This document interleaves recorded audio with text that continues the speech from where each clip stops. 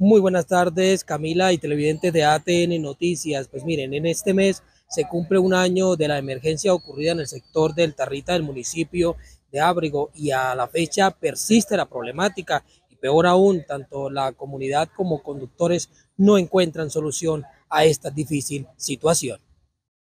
A casi un año de la tragedia ocurrida en el corregimiento del Territa, donde la fuerza de la naturaleza arrasó las viviendas de 146 familias, el inicio de la temporada invernal vuelve a poner en riesgo a la comunidad y al tramo vial Ocaña Cúcuta. Es importante que las autoridades del orden nacional, municipal y departamental tomen todas las medidas, toda vez que hay en riesgo eh, una población eh, considerable una población que teniendo en cuenta de que no se han tomado las medidas, optó por volver a esta zona del Tarrita y también con un agravante adicional, que es tenemos una población educativa. La problemática del Tarrita le corresponde al gobierno nacional su intervención por ser una vía nacional, pero desde la gobernación de Norte de Santander se ha estado al tanto de la situación.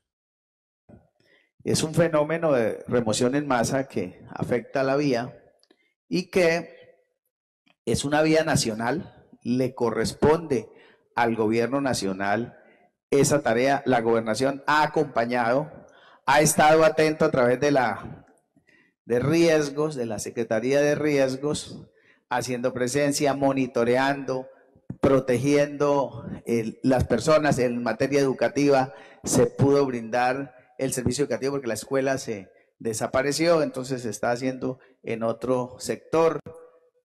Para la comunidad y conductores que habitan y transitan por ese tramo vial del Tarrita, se ha convertido en toda una odisea que a casi un año de la emergencia aún no ven soluciones.